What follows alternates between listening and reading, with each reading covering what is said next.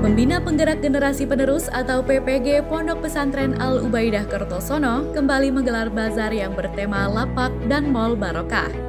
Kegiatan tersebut bertempat di halaman Pondok Pesantren Al Ubaidah Kertosono, Nganjuk, Jawa Timur pada 24 Maret hingga 8 April 2023. Pada kesempatan tersebut, pengasuh Ponpes Al Ubaidah Kertosono, Habib Ubaidillah Al Hasani, mengatakan Lapak Barokah merupakan kegiatan untuk memupuk jiwa kemandirian generasi muda LDII yang menjadi bekal saat mereka berumah tangga nanti.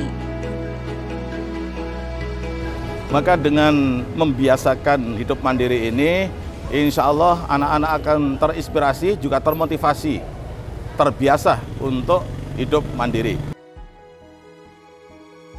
Sementara itu, Ketua Panitia Rudi Hadiwijaya berharap Lapak Barokah dapat menumbuhkan jiwa kewirausahaan dan kemandirian pada generasi muda Ponpes Al Ubaidah Kertosono.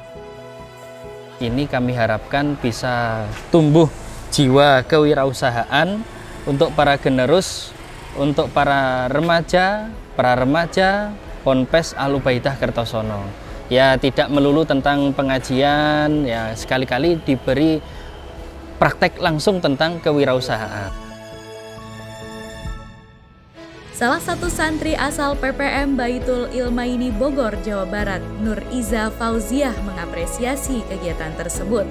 Menurutnya, ini menjadi momentum yang baik dalam menciptakan generasi muda yang lebih mandiri.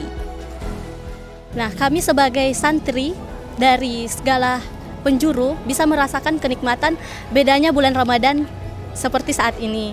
Nah, di sini tersedia berbagai macam jenis-jenis uh, makanan mulai dari jenis makanan yang harga seribuan hingga belasan ribuan dan ter tentunya harganya dengan harga yang terjangkau. Kegiatan tersebut merupakan salah satu kegiatan rutin yang dilaksanakan Ponpes Al Ubaidah di bulan suci Ramadan. Selain bazar lapak dan mall barokah, Ponpes Al Ubaidah juga mendorong para santrinya dalam melaksanakan lima sukses Ramadan – yaitu sukses berpuasa, sukses salat tarawih, sukses tadarus Al-Quran, sukses mendapatkan Lailatul Qadar, dan sukses melaksanakan zakat fitrah. Lapak barokah, sukses! Mantap!